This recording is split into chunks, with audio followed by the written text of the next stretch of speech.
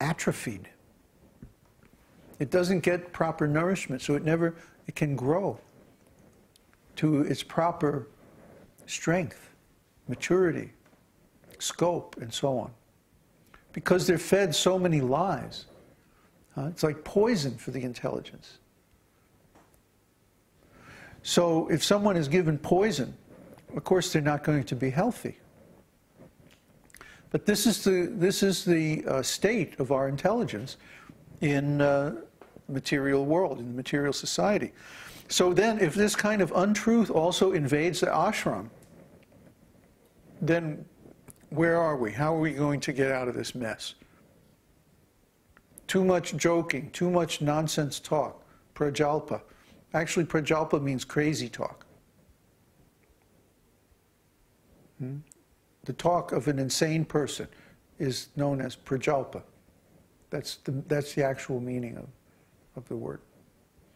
When Srimati Radharani is in her state of Mahabhava and she's speaking all kinds of crazy things, this is called prajalpa. That's the, the transcendental meaning. But the ordinary meaning is just crazy talk. So we should avoid this crazy talk. Huh? I mean, it's okay to joke around a little bit and like that.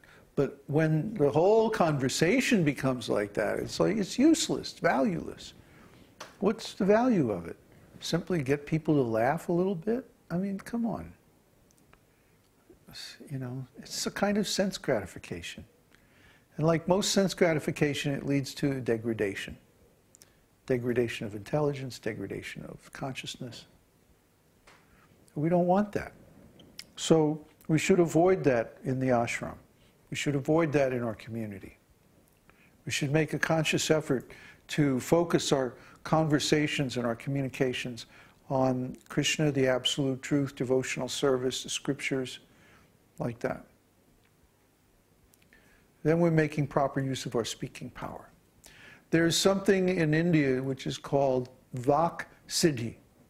Vak Siddhi. V A K Siddhi.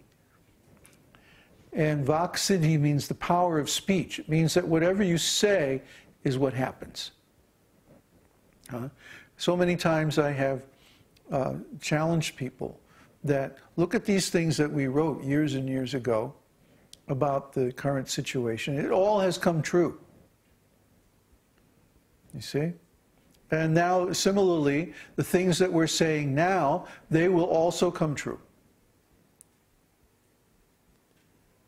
But still, people remain skeptical. Huh? I guess they've just been cheated too much. But the thing is, we have made a conscious effort over many, many years' time to speak only the truth.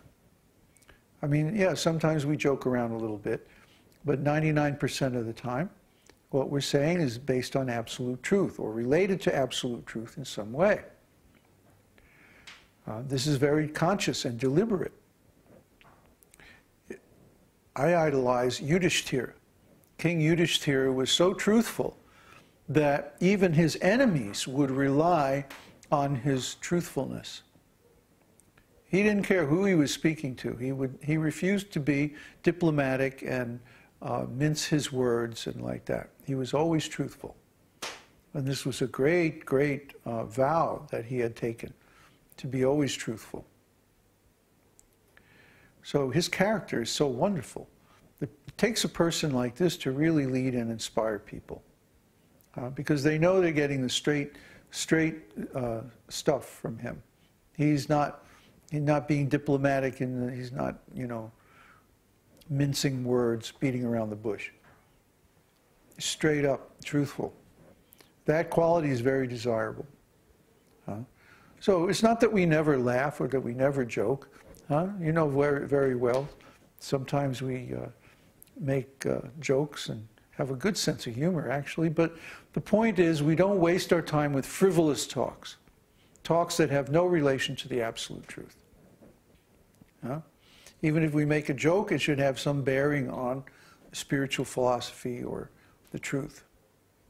That's very important. Otherwise, we're wasting our breath, we're wasting our time, we're wasting other people's time. And I won't tolerate it. So we have to tighten up our standard before we go to India. It's very important. Speaking of which, does anybody have any questions? Any questions so far?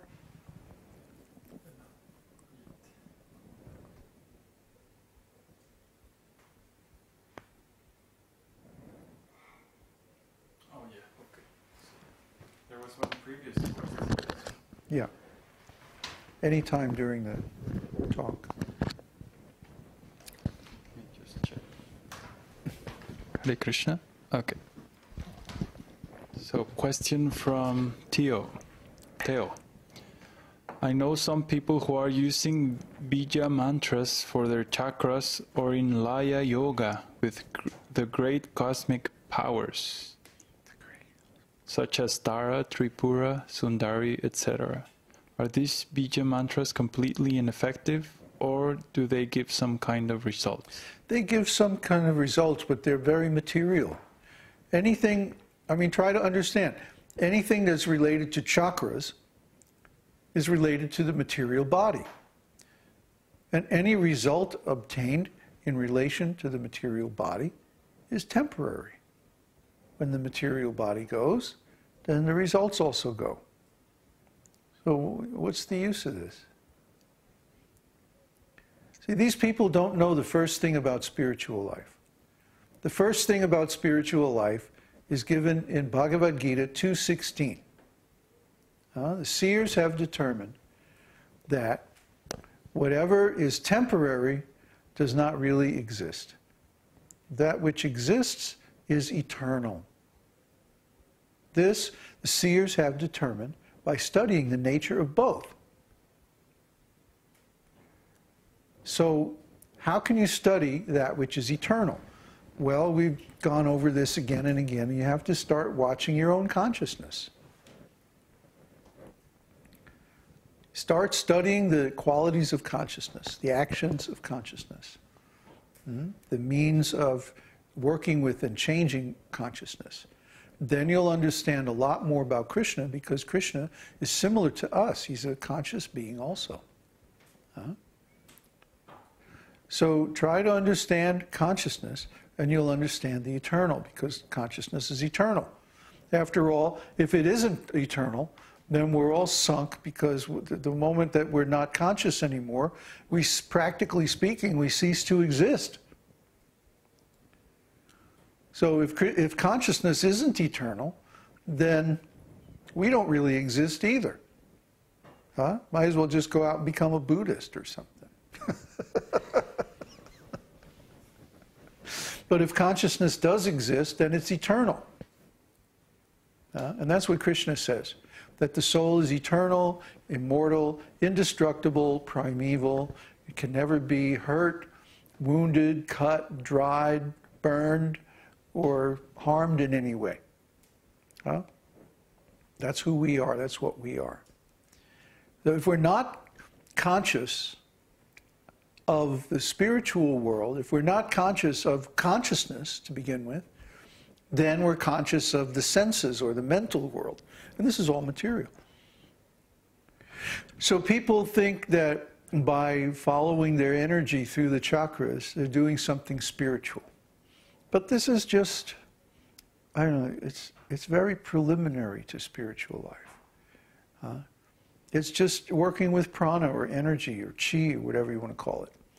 There, I, there, I met Chinese kids in Guam 12 years old who could do better Kundalini yoga than any of these rascals I ever ran into who were teaching Kundalini yoga. Huh? Because they had been taught Qigong from the age of five or six. And they were already very adept at manipulating the energy in their chakras. But so what?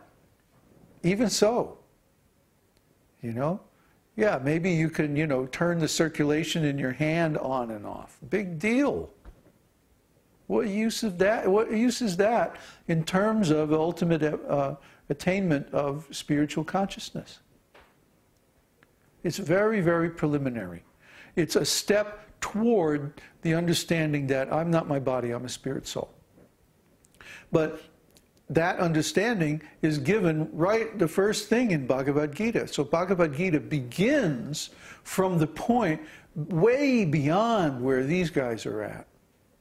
Why do we even consider them? They're not authorities. They're not. Where, what Vedic scripture is their teaching derived from?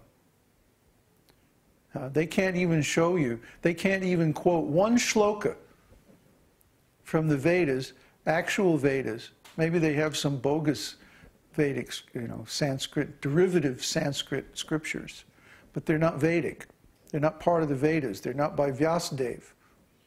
Uh, so they may be following some derivative or secondary or tertiary even Sanskrit scriptures, but they're not Vedic because they don't come to the Vedic conclusion.